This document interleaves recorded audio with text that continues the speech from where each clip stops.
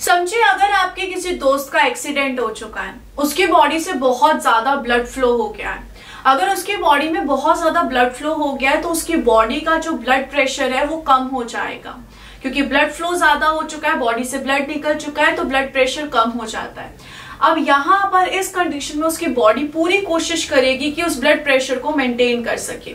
और ये मेंटेन करने के लिए वो एक मैकेनिज्म यूज़ करती है, जिसका नाम है R A A S mechanism RAAS mechanism जिसके बारे में हम आज के वीडियो में देखने वाले हैं। So guys welcome back to my channel Bansal बाइडर ji आइए स्टार्ट करते हैं आज के वीडियो से। अगर हम देखिए R A A S system क्या होता है? रेनिन एल्डोस्टेरॉन एंजियोटेंसिन सिस्टम यहाँ पर आप देख सकते हैं, हमने तीन स्पेशल मॉलिक्यूल्स के बारे में बात किया रेनिन एल्डोस्टेरॉन और एंजियोटेंसिन एक एक करके हम इन सबका रोल देखेंगे।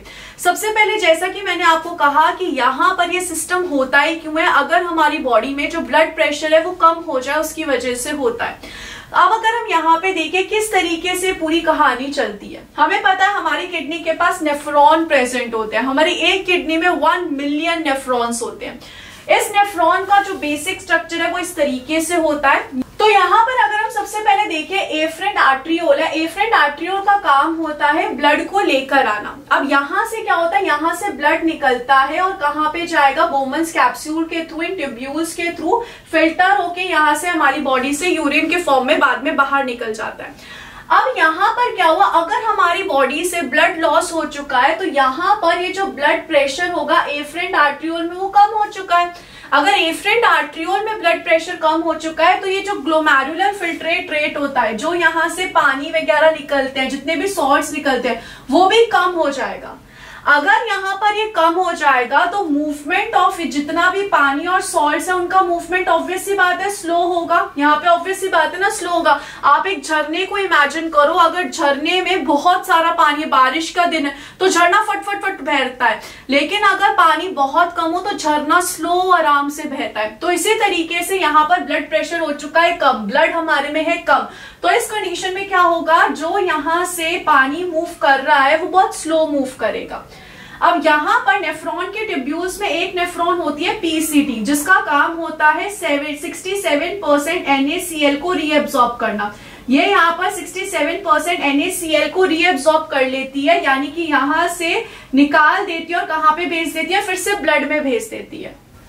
अब यहाँ पर जो पानी है वो बहुत स्लो मूव करेगा। अगर वो स्लो मूव कर रहा है तो और रीएब्सॉर्प्शन होगा यहाँ पे एनएसीएल का।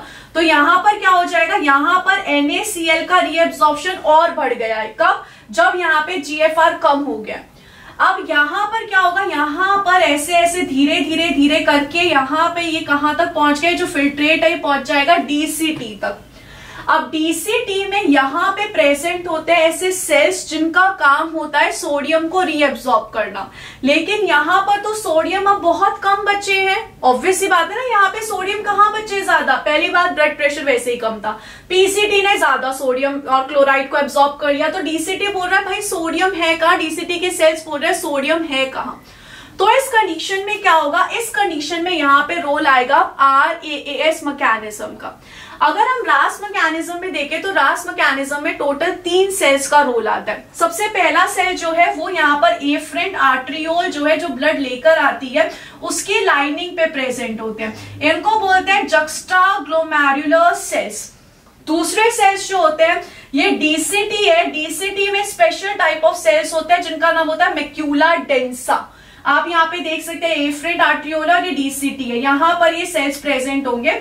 और इन दोनों के बीच में सेल्स होते हैं जिनको बोलते हैं extra glomerular mesangial cells तो ये तीन जो सेल्स है, ये तीनों मिलके यहाँ पर क्या बनाते हैं? जक्स्टा ग्लोमेरुलर अपैरेटस बनाते हैं। और ये जक्स्टा ग्लोमेरुलर अपैरेटस का ही काम आएगा। किसमें काम आएगा? इसी का ही काम आएगा हमारे रास सिस्टम में। किस तरीके से कहानी होगी देखो? सबसे पहली बात, एफ्रेंट आर्ट्रियोल जो है, उधर ब्लड प्रेशर कम है। अगर ब्लड प्रेशर कम है तो ये मैसेज किसको पता चलेगा? जक्स्ट्रा ग्लोमेरुलर सेल्स को पता चलेगा कि यहाँ पे जो ब्लड प्रेशर है, वो कम हो चुका है। अब ये जो जक्स्ट्रा ग्लोमेरुलर सेल्स है ना, वो नॉर्मली प्रो रेनिन बनाते हैं। प्रो रेनिन में देखो आप एक ही एन है, दो एन नहीं है। ये नॉर्मली प्रो रेनिन बनाते हैं। अब यहाँ पर जब एक्टिवेशन हो जाएगा जक्स्टा ग्लोमेरुलर सेल्स का। एक्टिवेशन क्यों हुआ? क्योंकि यहाँ पे ब्लड प्रेशर डिक्रीज हो चुका है। तो प्रो रेनिन को किसमें कन्वर्ट कर देंगे? रेनिन में। उसी के साथ साथ यहाँ पर एक्टिवेशन क्यों होगा इनका? क्योंकि यहाँ पर मेक्यूला डेंसा सेंस कर लेंगे कि क्या प्रेजेंट है। लेस सोडियम प्रेजेंट है। मेक्यूला डेंसा बोल रहा है, मेरे को तो सोडियम मिल ही नहीं रहा है। सोडियम पीसीटी ने ले लिया या फिर ब्लड प्रेशर ही कम है। मेरे को तो सोडियम मिल नहीं रहा है। तो यहाँ पर अगर डिक्रीज इन सोडियम लेवल होगा तो मेक्यूला डेंसा को एक्टिवेट करेगा। और डिक्रीज इन ब्लड प्रेशर होगा तो वो जे जे जी को वैसे भी एक्टिवेट कर देगा। तो दोनों ही मिलके यहाँ पे क्या कर देंगे? प्रो रेनिन को रेनिन में कन्वर्ट कर देंगे। अब रेनिन यहाँ पर आ चुका है। कहाँ पे आ गया? रेनिन आ चुका है ब्लड में। अब रेनिन यहाँ पे ब्लड में जाकर क्या क्या करेगा? एक एक करके हम समझते हैं। ब्लड जो है वो यहाँ से फ्लो कर रहा है फ्लो कर रहा है फ्लो कर रहा है। ब्लड यहाँ पर कहा आ गया? लीवर में आ गया। लीवर में यहाँ पर हमें पता है लीवर बहुत सारे प्रोटीन्स बनाता है, बहुत सारे प्रोटीन्स तो ऐसा ही एक प्रोटीन लीवर बनाता है, जिसको हम बोलते हैं एनजीओ टेंसिनोजन क्या बनाया इसने? एनजीओ टेंसिनोजन बनाता है। यहाँ पर ये रेनिन जो है, क्या करेगा? इस एनजीओ टेंसिनोजन को कन्वर्ट कर देगा। किसमें कन्वर्ट कर देगा? ये कन्वर्ट कर देता है इसको एनजीओ टेंसिन वन में। यहाँ पर बन गया एंजियोटेंसिन वन एंजियोटेंसिन वन फिर से कहा प्रेजेंट है? ब्लड में प्रेजेंट है। तो ये कहा जाएगा? ये ब्लड के थ्रू आगे जा रहा है, आगे जा रहा है, आगे जा रहा है। कहा पहुँच जाएगा? ये पहुँच जाएगा लंग्स के पास। लंग्स के पास पता है ऑब्वियस बात है लंग्स के पास भी क्या प्रेजेंट होती है? ब्लड वेसल्स प्रेजेंट होती है। तो लंग्स के पास यहाँ पे जो ब्लड वेसल्स है, इनके जो सेल्स है, यहाँ पे जो ब्लड वेसल्स है, इनके सेल्स है, इनको हम क्या बोल सकते हैं? वेस्क्यूलर एंडोथीलियम बोल सकते हैं। यहाँ पर ये ध्यान से सुनना क्या बोला मैंने? जो लंग्स है, उसकी जो ब्लड वेसल है, उसके यहाँ पर जो सेल्स है, जिनको वेस्क्यूलर एंडोथीलियम कहते हैं, ये यहाँ पर किसकी सिंथेसिस करते हैं? ये यहाँ पर एस की सिंथेसिस करते हैं। एस का मतलब क्या होता है? एनजियोटेंसिन कन्वर्टिंग एंजाइम नाम से ही पता चल रहा है, ये क्या करेंगे? ये यहाँ पे कन्वर्ट कर देंगे। किसको कन्वर्ट कर देंगे? एनजियोटेंसिन वन को कन्वर्ट कर देंगे। तो यहाँ पर इन्होंने क्या किया? एनजियोटेंसिन वन को कन्वर्ट कर दिया किसमें? एनजियोटेंसिन टू में। यहाँ पर क्या हो गया? एनजियोटेंसिन टू आ गया। अब ये जो एनजियोटेंसिन टू है, ये ब्लड में है। अब ये अलग अलग जगह पे जाएगा और अलग अलग रोल्स प्ले करेगा। जैसे कि अगर मैं यहाँ पे देखूँ, सबसे पहले यहाँ पे हम मान लेते हैं कि ये कहाँ गया है। सबसे पहले ये गया एड्रीनल कॉर्टेक्स के पास। एड्रीनल कॉर्टेक्स क्या होता है? एड्रीनल एक ग्लैंड है जो कि हमारी किडनी के जस्ट ऊपर प्रेजेंट होता है। ये एड्रीनल कॉर्टेक्स में यहाँ पर ये रिलीज़ करवाएगा एक मॉलिक्यूल को जिसका नाम होता है एल्टोस्टेरॉन किसको रिलीज़ करवाता है? एल्डो स्टेरॉन को रिलीज़ करवाता है कहा से रिलीज़ करवाए? किसको बोला है रिलीज़ करने के लिए? कहा है ग्लोमैरुलोसा को यहाँ पर जो स्पेसिफिक हिस्सा होता है एड्रीनल कॉर्टेक्स का भी जोना ग्लोमैरुलोसा उसको बोला कि तो एल्डोस्टेरॉन रिलीज़ कर। एल्डोस्टेरॉन एक स्टेरॉइड हार्मोन है। यहाँ पर एक ऐसा हार्मोन होता है, एक स्टेरॉइड हार्मोन होगा। ये जो स्टेरॉइड हार्मोन है, अब ये किसके पास जाएगा? डीसीटी के पास जाएगा। ये जो डीसीटी थी इस डीसीटी के पास जाएगा। डीसीटी के पास भी कौन से सेल्स के पास जाता है? प्रिंसिपल सेल्स के पास जाता है। प्रिंसिपल सेल्स को बोलता है कि भाई क्या कर रहे हो? सोडियम नहीं है सोडियम को रीएब्सॉर्ब करो। तो यहाँ पर क्या होगा? यहाँ पर इस तरीके से अगर मैं बोलूँ, इस तरीके से यहाँ पर ये प्रिंसिपल सेल प्रेजेंट है। समझो, इस तरीके से यहाँ पे प्रिंसिपल सेल प्रेजेंट है। प्रिंसिपल सेल के इस तरफ़ ब्लड है और इस तरफ़ ल्यूमन है।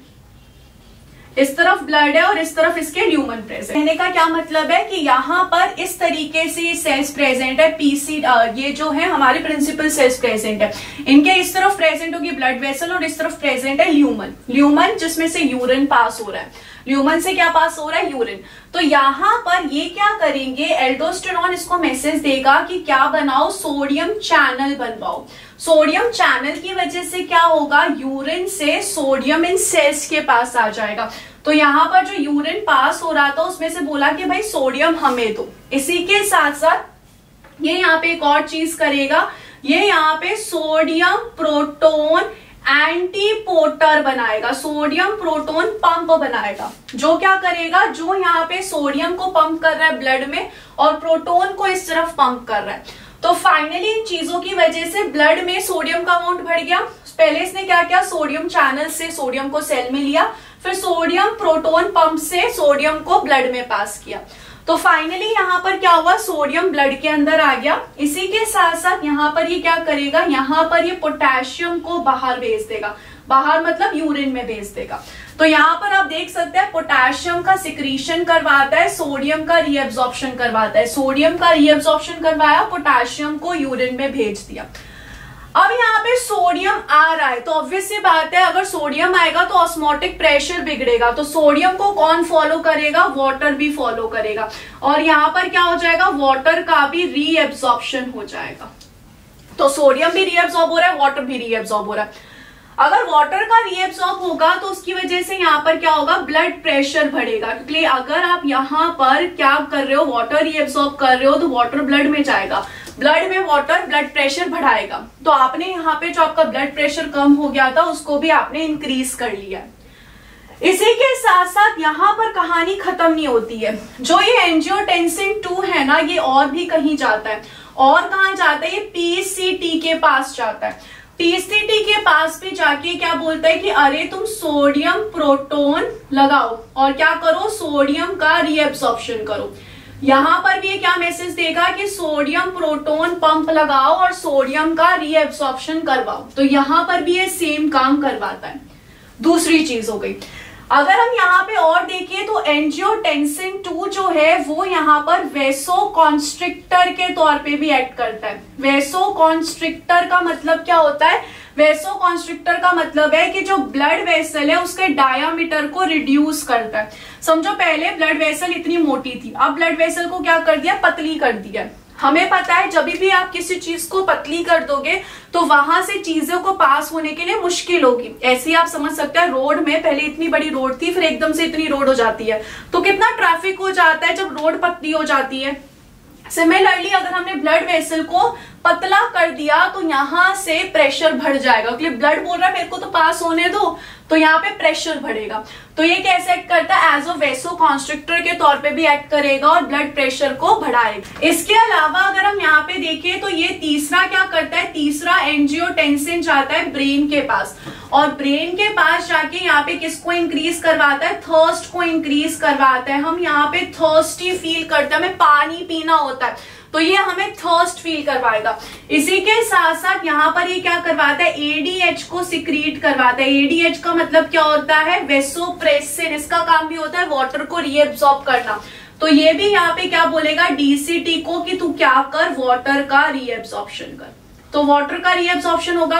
आप पानी पिएँगे। उसी के साथ साथ आपका सोडियम अंदर आ रहा है। इसकी वजह से पानी आ रहा है।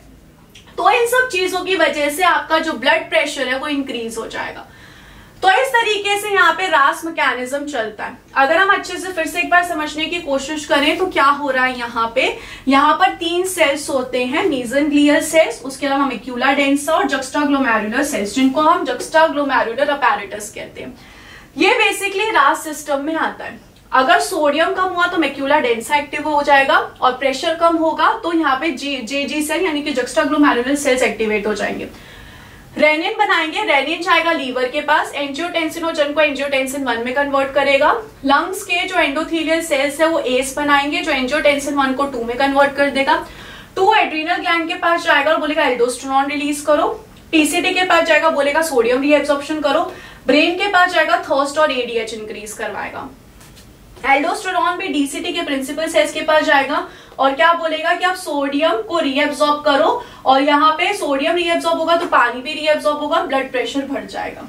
तो ये सारा जो होता है, रास मैकेनिज्म होता है आई होप गाइज़ आपको अच्छे से समझ में आ गया होगा। If you like this video do share it with all your friends और एनिमल फिजियोलॉजी का नेक्स्ट आपको कौन सा लेक्चर चाहिए कमेंट सेक्शन में ज़रूर बताइएगा।